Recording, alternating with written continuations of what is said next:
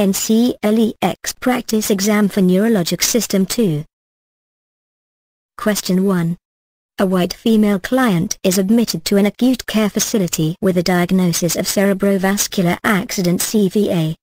Her history reveals bronchial asthma, exogenous obesity, and iron deficiency anemia. Which history finding is a risk factor for CVA? A. Caucasian race. B. Female sex. C. Obesity. D. Bronchial asthma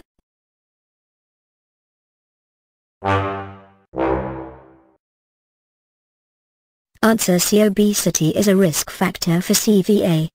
Other risk factors include a history of ischemic episodes, cardiovascular disease, diabetes mellitus, atherosclerosis of the cranial vessels, hypertension, polycythemia, smoking, hypercholesterolemia, oral contraceptive use, emotional stress, family history of CVA, and advancing age. The client's race, sex, and bronchial asthma aren't risk factors for CVA. Question 2. The nurse is teaching a female client with multiple sclerosis. When teaching the client how to reduce fatigue, the nurse should tell the client to A. Take a hot bath. B. Rest in an air-conditioned room. C. Increase the dose of muscle relaxants. D. Avoid naps during the day.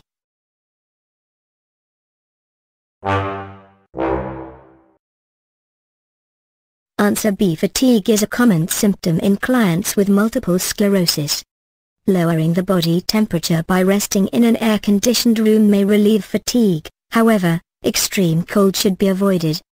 A hot bath or shower can increase body temperature, producing fatigue. Muscle relaxants, prescribed to reduce spasticity, can cause drowsiness and fatigue.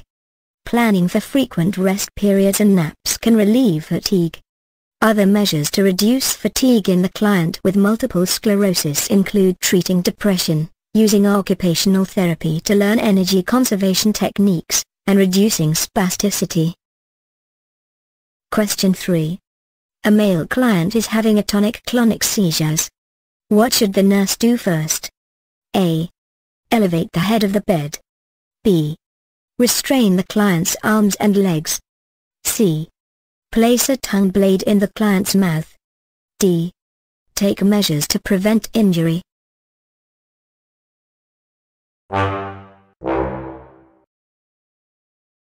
Answer D. Protecting the client from injury is the immediate priority during a seizure elevating the head of the bed would have no effect on the client's condition or safety. Restraining the client's arms and legs could cause injury. Placing a tongue blade or other object in the client's mouth could damage the teeth. Question 4. A female client with Guillain-Barré syndrome has paralysis affecting the respiratory muscles and requires mechanical ventilation. When the client asks the nurse about the paralysis, how should the nurse respond? A. You may have difficulty believing this, but the paralysis caused by this disease is temporary. B. You'll have to accept the fact that you're permanently paralyzed. However, you won't have any sensory loss. C. It must be hard to accept the permanency of your paralysis. D. You'll first regain use of your legs and then your arms. Answer B. Fatigue is a common symptom in clients. Question 3. A male client is having a tonic-clonic seizures. What should the nurse do first? A. Elevate the head of the bed. B. Restrain the client's arms and legs.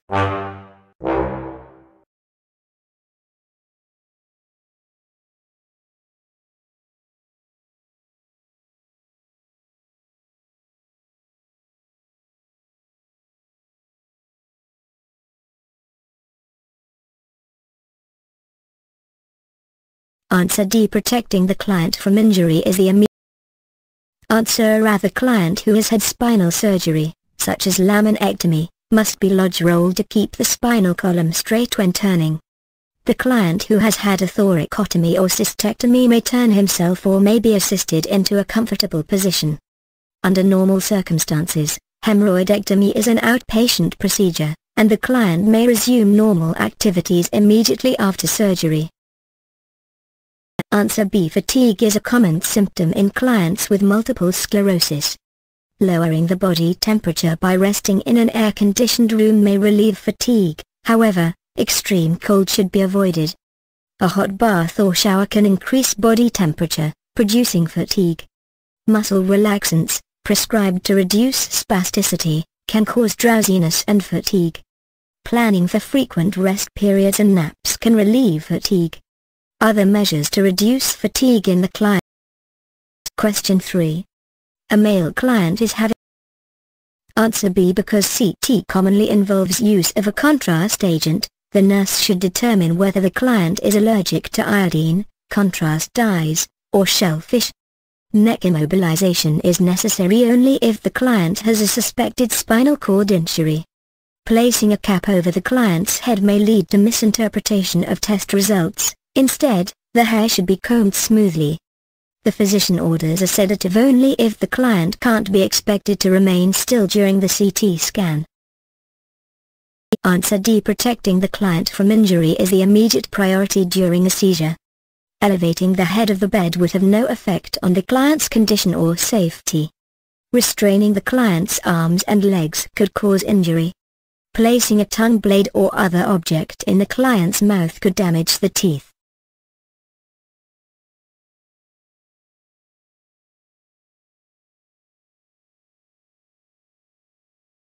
Answer A. The client who has had spinal surgery. Answer B. Fatigue is a common symptom in clients with multiple sclerosis. Lowering the body temperature by resting in an air-conditioned room may relieve fatigue, however, extreme cold should be avoided. A hot bath or shower can increase body temperature, producing fatigue. Muscle relaxants, prescribed to reduce spasticity, can cause drowsiness and fatigue. Planning for frequent rest periods and naps can relieve fatigue. Other measures to reduce fatigue in the client with multiple sclerosis include treating depression. Question 8. A female client is admitted in a disoriented and restless state after sustaining a concussion during a car accident. Which nursing diagnosis takes highest priority in this client's plan of care? A. Disturbed sensory perception visual. B self-care deficient, dressing, grooming. C. Impaired verbal communication. D. Risk for injury.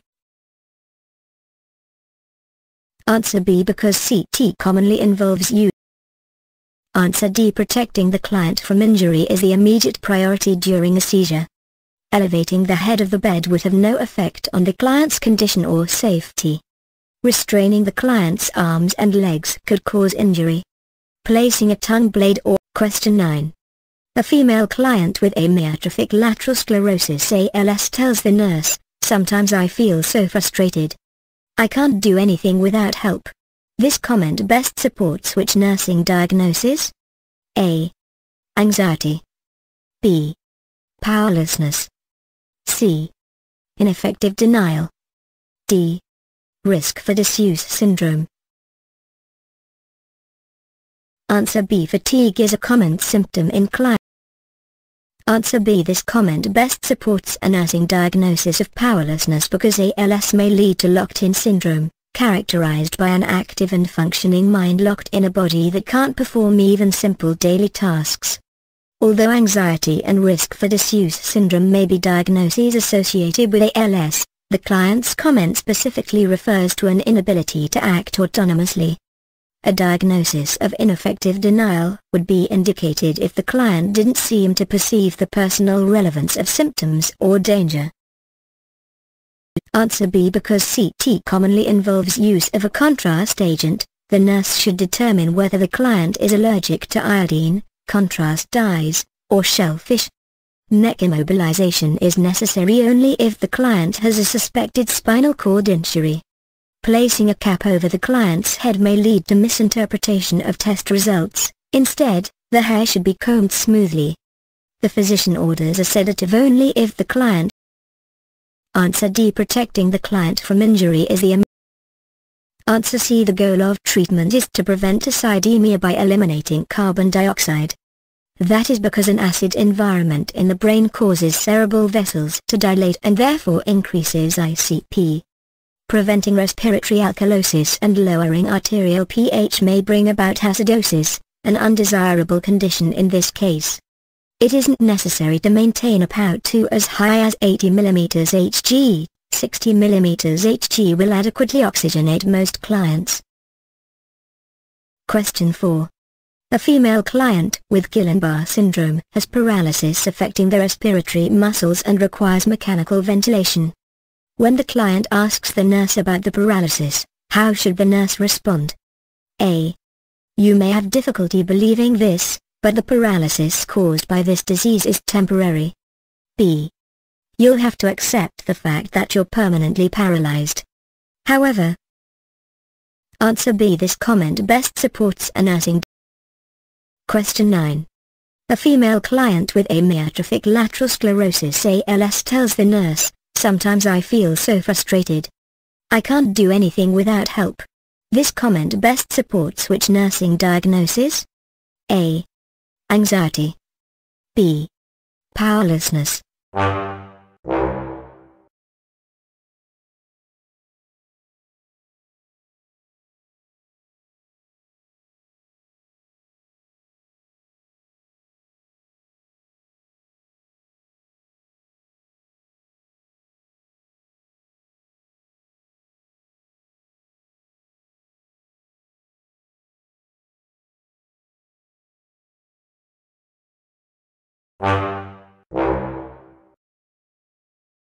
Question 4.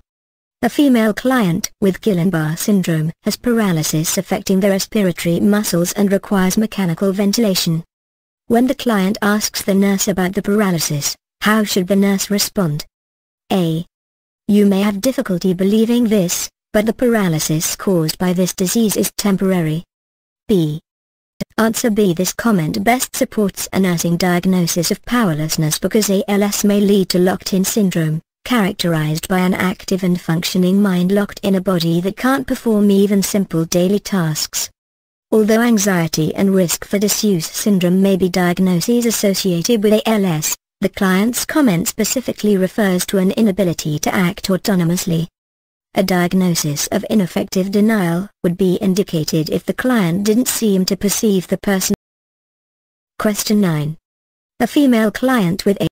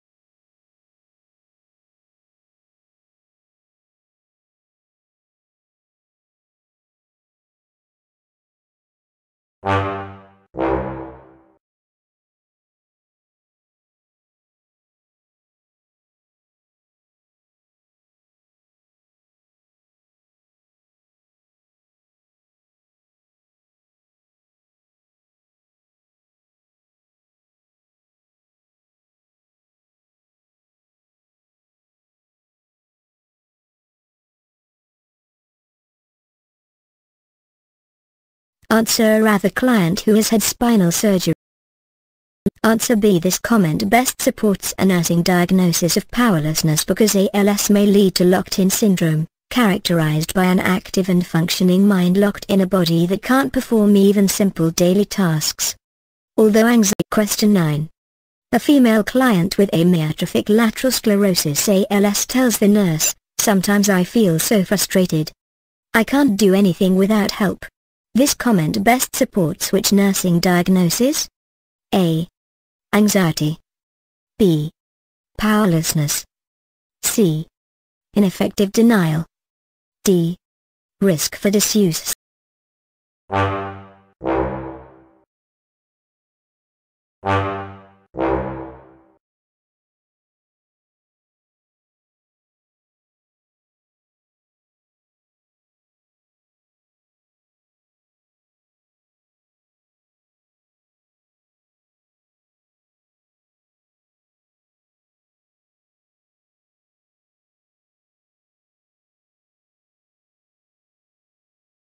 Question 16. A female client has clear fluid leaking from the nose following a basilar skull fracture. The nurse assesses that this is cerebrospinal fluid if the fluid A.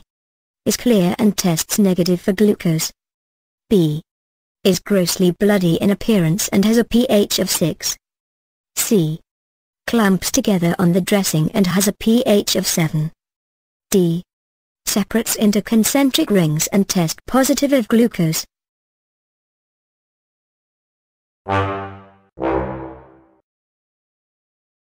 Question 8. A female client is admitted in a disoriented and restless state after sustaining a concussion during a car accident. Which nursing diagnosis takes highest priority in this client's plan of care? A. Disturbed sensory perception visual. B. Self-care deficient, dressing, groom.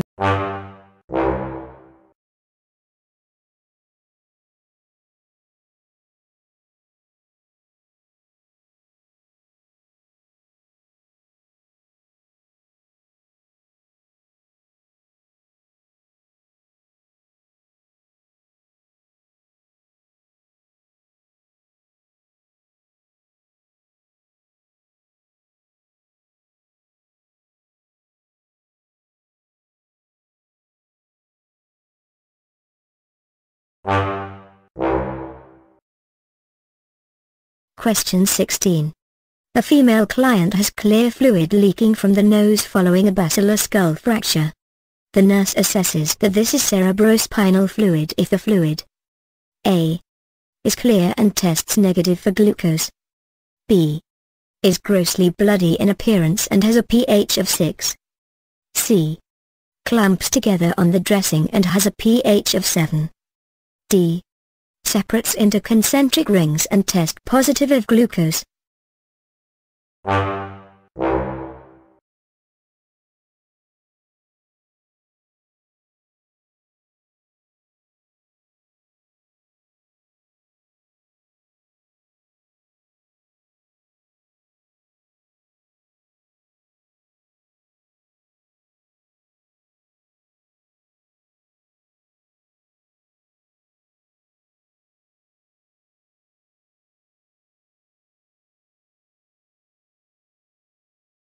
Question 8.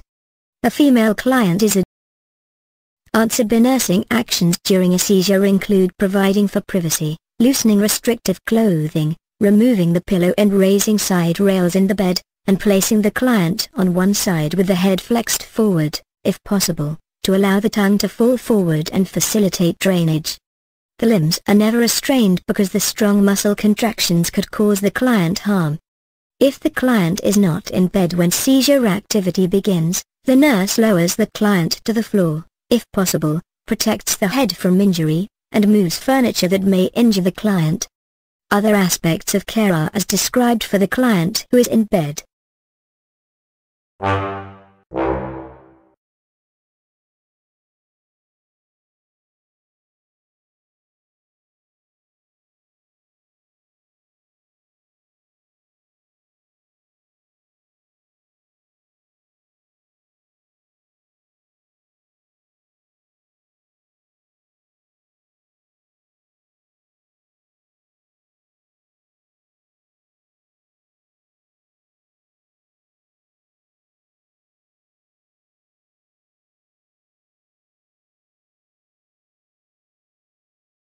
Question 16. A female client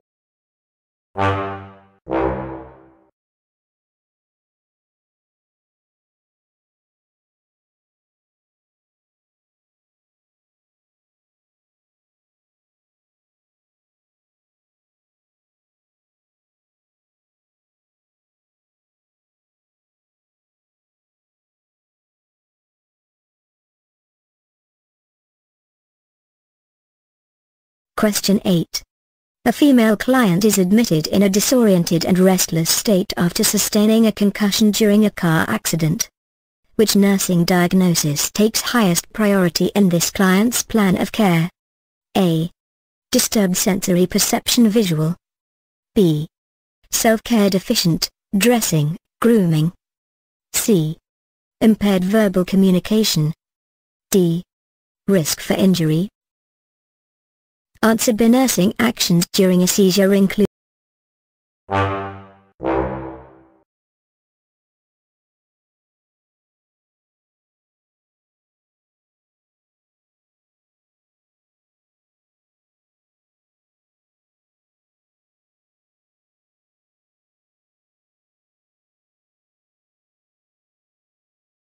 Question 16. A female client has clear fluid leaking from the nose following a basilar skull fracture. The nurse assesses that this is cerebrospinal fluid if the fluid A. is clear and tests negative for glucose. B. is grossly bloody in appearance and has a pH of 6. C. clamps together on the dressing and has a pH of 7. D separates into concentric rings and test positive of glucose.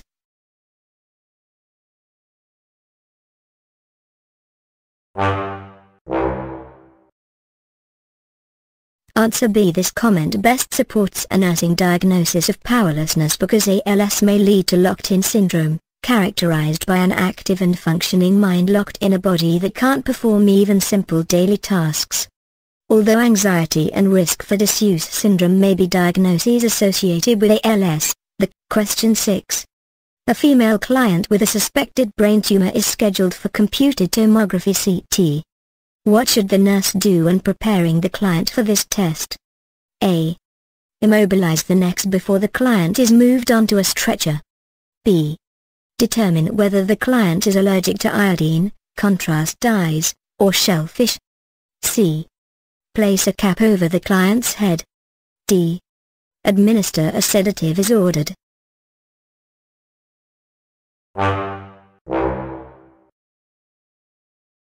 Answer C. Clients with aphasia after brain attack stroke often fatigue easily and have a short attention span. General guidelines when trying to communicate with the aphasic client include speaking more slowly and allowing adequate response time, listening to and watching attempts to communicate and trying to put the client at ease with a caring and understanding manner. The nurse would avoid shouting because the client is not deaf, appearing rushed for a response, and letting family members provide all the responses for the client. Answer. Nursing actions during a seizure include providing for privacy, loosening restrictive clothing, removing the pillow and raising side rails in the bed, and placing the client on one side with the head flexed forward, if possible to allow the tongue to fall forward and facilitate drainage. The limbs are never restrained because the strong muscle contractions could cause the client harm. If the client is not in bed when seizure activity begins,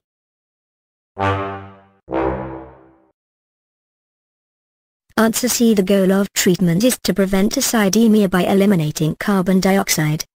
That is because an acid environment in the brain causes cerebral vessels to dilate and therefore increases ICP. Preventing respiratory alkalosis and lowering arterial pH may bring about acidosis, an undesirable condition in this case. It isn't necessary to maintain a PaO2 as high as 80 mm Hg, 60 mm Hg will adequately oxygenate most clients. Answer D. Protecting the client from injury is the immediate priority during a seizure. Elevating the head of the bed would have no effect on the client's condition or safety. Restraining the client's arms and legs could cause injury. Placing a tongue blade or other object in the client's mouth could damage the teeth.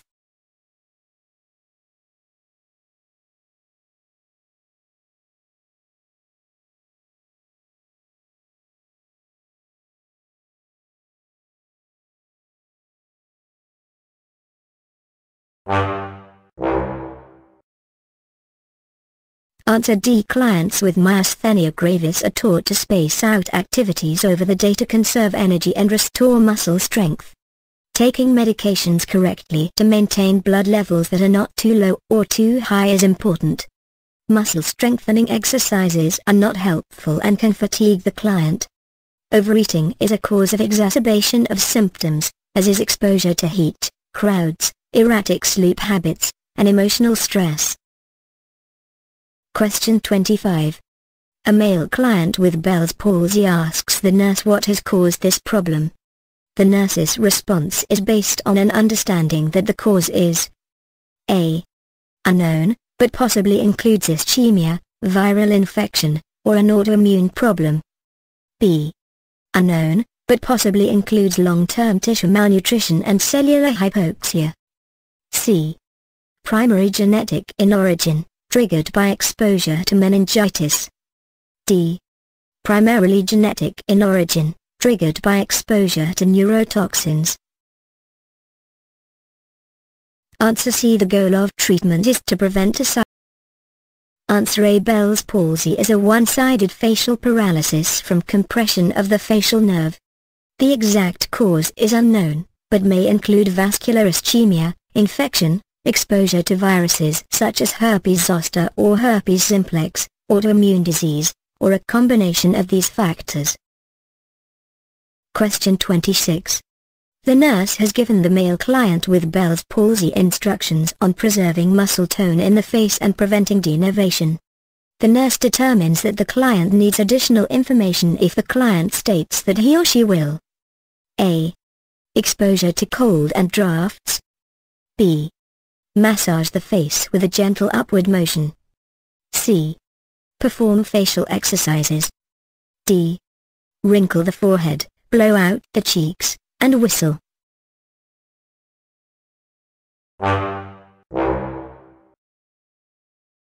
Question 3. A male client is having a tonic-clonic seizures. What should the nurse do first?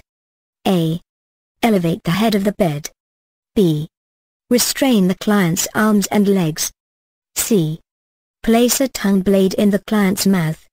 D. Take a Answer B Because CT commonly involves use of a contrast agent, the nurse should determine whether the client is allergic to iodine, contrast dyes, or shellfish.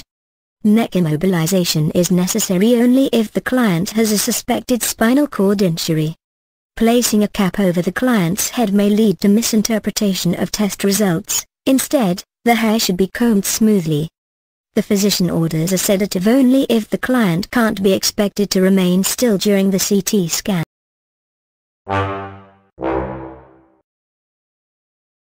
Question 26. The nurse has given the male client with Bell's palsy instructions on preserving muscle tone in the face and preventing denervation. The nurse determines that the client needs additional information if the client states that he or she will A. Exposure to cold and drafts. B. Massage the face with a gel.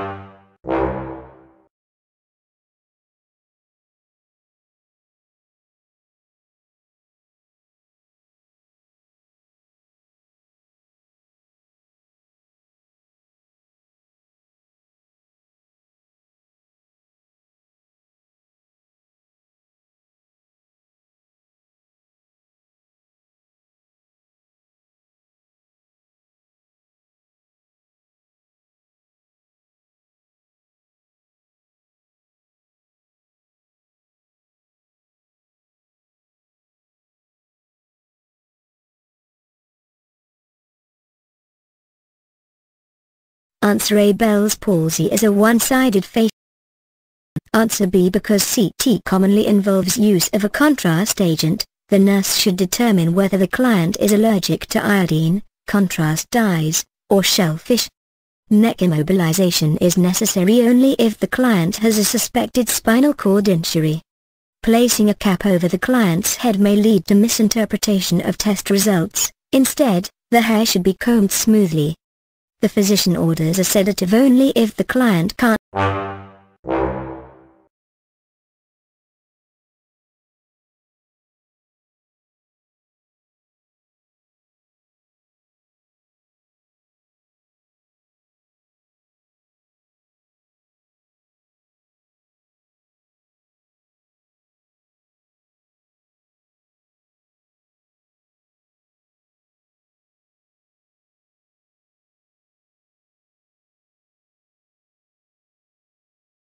Question 26.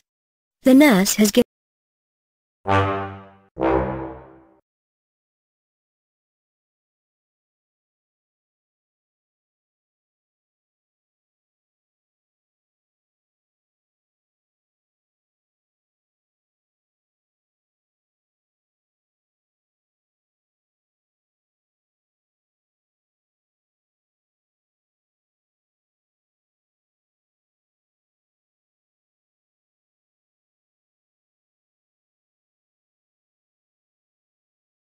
Answer. Bell's palsy is a one-sided facial paralysis from compression of the facial nerve.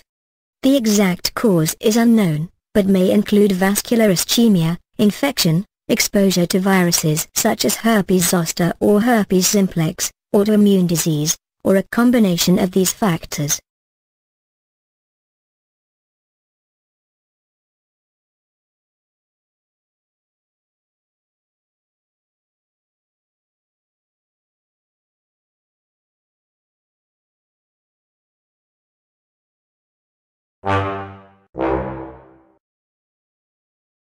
Answer B. The limbic system is responsible for feelings affect and emotions.